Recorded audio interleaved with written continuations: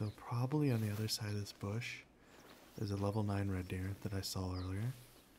And I want to kill it with this double barrel shotgun.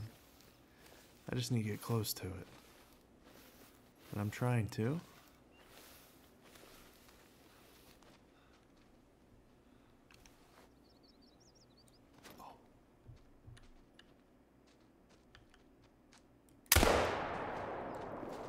Just hit it.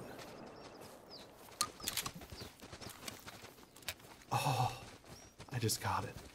That's sick. Let's go see if it's a diamond. Holy crap, it's a diamond. I hit it with both barrels too. Man, my heart's beating. Here's the first shot. And here's the second shot.